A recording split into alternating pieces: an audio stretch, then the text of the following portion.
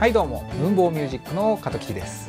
さて今回はヘッドホンのレビューまたやっていきたいと思います。今回はまた日比野さんからですねヘッドホン2機種をお借りできましたので聞き比べたりとかして紹介していきたいと思うんですけどもなんとですね今回のヘッドホンはですねとてもお高いです。K812 と K872 という2機種をやりたいと思っているんですが両方ともですねアーカーゲーのフラグシップ、まあ、最高級機種のラインナップになってましてお値段も両方とも10万円以上するみたいです。いや僕はあの10万円以上のヘッドホンって買ったこと実はないんですけれども一体どんな音がするんでしょうかね。とても楽しみにしています。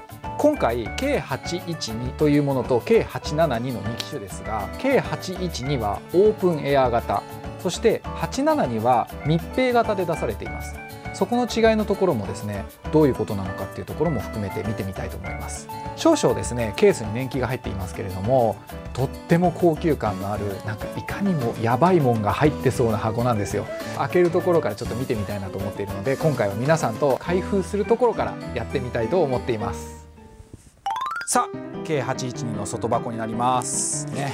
黒いでかい重いいかにもいいもの開けてみます。うわーすごい。はい。ちょっとね家紋みたいなまあ赤毛のロゴですけど入ってます。いきますよ。オープン。おー。おお木。木ですね。かっちょいい。うわ。いやーこれちょっと飾っとくだけでもちょっとこう幸せになれますね。さあじゃあ早速つけてみたいと思います。オープンエアになってますね。でここのアジャストでカチカチできますね。じゃあつけてみましょう。あめちゃくちゃいいです。速圧もすごくいいし、えーと、自分の声もオープンエアなので聞こえる感じなんですけどすごく自然ですね。響き方が。これはねかなりスピーカーで聞いてるのと同じような感覚になるんじゃないかなっていう期待が持てます。さて K872 の方の開封をしていきたいと思います。先ほど K812 を開けましたけどもそれより重いです。この大きさやばくないですか？顔より大きい。どうなってるんですかね？開けてみたいと思います。まずはですねベールを脱ぎましてやはりここに赤毛の家紋ロゴですね。おおおこれはどうやって開けるの？かこうじゃないのか？あこうでした。磁石とこねペタッとついてました。さあオープンの何これ？どういうこと？黒いですねバッグみたいな外してここをおおあキャリングバッグイエーいいっすねこれ。さあチャックを開けてみます。うわもうこの衝撃から守る気満々感やばいっすね。先ほどの K812 と同じようにですねこのロック式のものでここカチカチとやって付けられるような仕組みになってるみたいですねじゃあちょっとつけてみます。あもう密閉型ですね。あこれすげえ。密閉型なのに耳たぶに全然触らない。でやっぱり速圧弱めです。なんだろう。本当に両機種とも付け心地に徹底的にこだわってるのを感じますね。フィットして全く感じないです。すごい付け心地いいです。そして同じようにシリアル番号が書いてあります。ザ高級機種ですね、えー、リファレンスヘッドホンと書いてありますがもう本気で作ったっていうことがよくわかる品物になってますね。さて今回ですね試聴するのはビリー・アイリッシュの「bad guy」というものすごく大ヒットしたローもがっつり効いてるですねかっこいいサウンドの音楽になりますけれどもなんでそれを選んだかって言いますと非常に音域が広かったり今風のサウンドだったりというのをたくさん取り入れていたのでそういったものをこういったヘッドホンで聞いた時に情報量としてどう聞こえるかみたいなことでそうしてみました。では早速ですね K812 オープンエアの方ですねから行ってみたいと思います。それではいきます。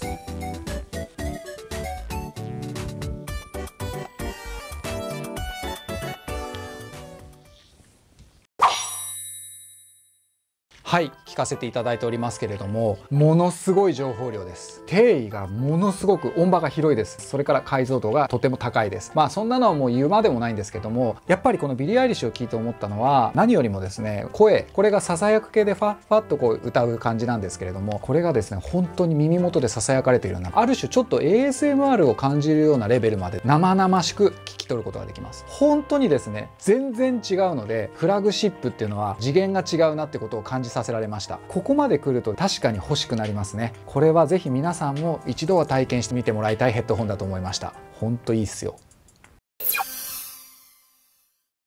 はいそれでは引き続き K872 の方を聞いてみたいと思います。今回は密閉型ですね。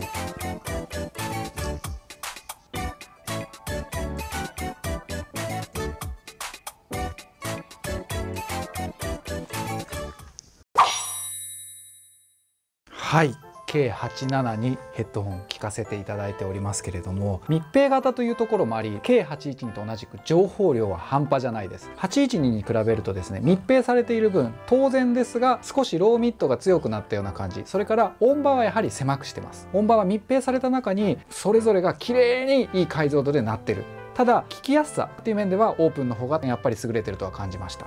ですがこのローの解像度の高さ low mid とかローがこっちだともっとはっきり聞こえます。こういう密閉型のヘッドホンでここまでローがはっきりわかるっていうものはなかなかないんじゃないでしょうか。だいたいモニターヘッドホンって多少ローがすっきりしている傾向があるような印象がありましたけれどもものすごくはっきりローが聞こえます。これでミックスすればローが出過ぎるなんてことはほとんどないでしょう。ローの処理が非常にうまくできると思います。特にバスドラの音本当にしっかり胴鳴りまで全部聞き取ることができます。そういう意味でもこれも確かに10万円以上払う価値は確実にあるなっていうふうに感じました。特にドラマーさんベーシストさん逆に DTM をやる人でもローの処理をしっかりやりたい方にはすごく自信を持ってお勧めできる機種なんじゃないかなっていうふうに僕は感じました。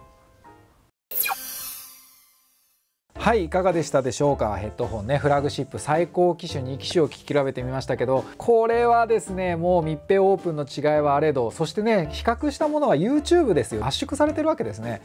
ハイレゾではないわけですけれどもそれでもですねはっきりとこのヘッドホンのパワー実力を感じ取ることができる。それぐらい違うものだというふうに感じました。この2機種それぞれ本当に素晴らしいので是非試してみていただきたいです。一回聞いたら絶対欲しくて買いたいと思っちゃうと思いますよ。これはね僕も聞くまではねいや10万円なんていいやと思ってましたけどこれはやばい。